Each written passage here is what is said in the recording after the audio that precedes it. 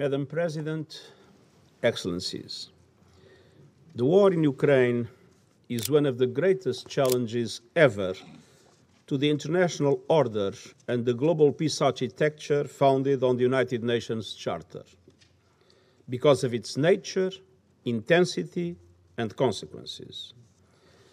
We are dealing with a full fledged invasion on several fronts of one member state of the United Nations, Ukraine, by another, the Russian Federation, a permanent member of the Security Council, in violation of the United Nations Charter, and with several aims, including redrawing the internationally recognized borders between the two countries.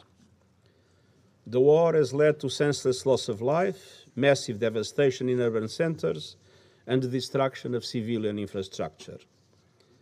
I will never forget the horrifying images of civilians killed in Bucha, and I immediately called for an independent investigation to guarantee effective accountability.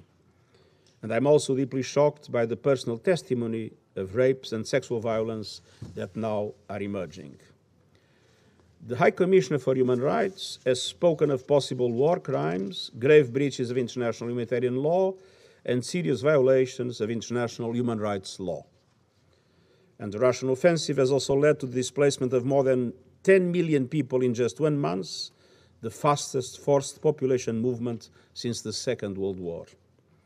Far beyond Ukraine's borders, the war has led to massive increases in, its pri- in prices of food, energy, and fertilizers because Russia and Ukraine are linchpins of these markets. It has disrupted supply chains and increased the cost of transportation putting even more pressure on the developing world. Many developing countries are already on the verge of debt collapse due to the impact of the COVID 19 pandemic and the lack of adequate liquidity and debt relief, stemming ultimately from the unfair nature of our global economic and financial system.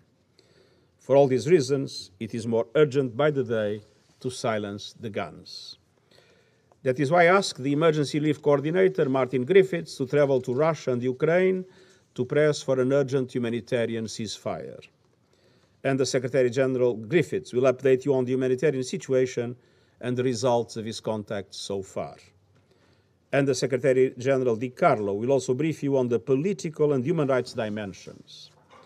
But as Secretary General of the United Nations, it is my duty to call the attention of the Council to the serious damage being done to the global economy and particularly to vulnerable people and developing countries.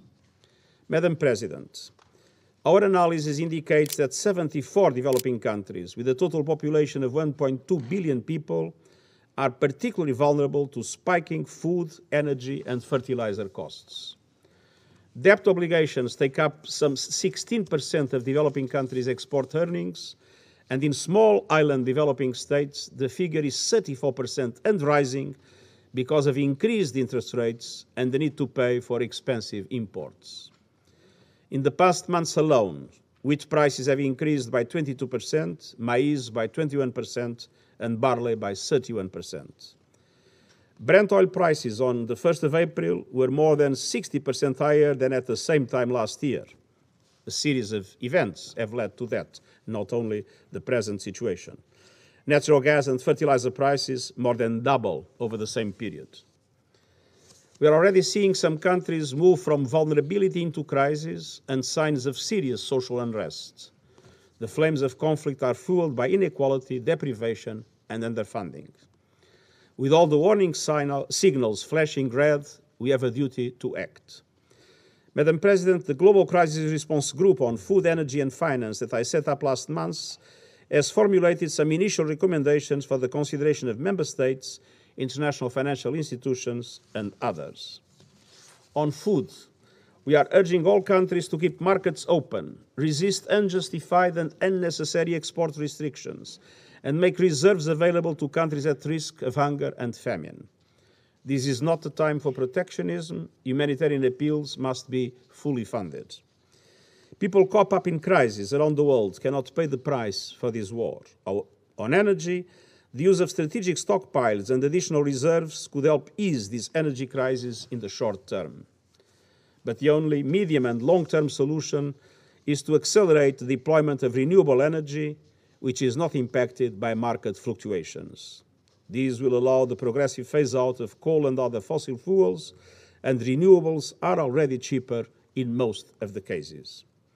And on finance, international financial institutions must go into emergency mode. We need urgent action by the G20 and international financial institutions to increase liquidity and fiscal space so that governments can provide safety nets for the poorest and most vulnerable. The reform I've been calling for the global financial system is long overdue. All these actions are closely linked with the prevention agenda and with building and sustaining peace. Madam President, the war in Ukraine must stop now. We need serious negotiations for peace based on the principles of the United Nations Charter. This Council is charged with maintaining peace and doing so in solidarity. I deeply regret the divisions that have prevented the Security Council from acting not only on Ukraine, but on other threats to peace and security around the world. I urge the Council to do everything in its power to end the war and to mitigate its impact, both on the suffering people of Ukraine and on vulnerable people and developing countries around the world. And I thank you.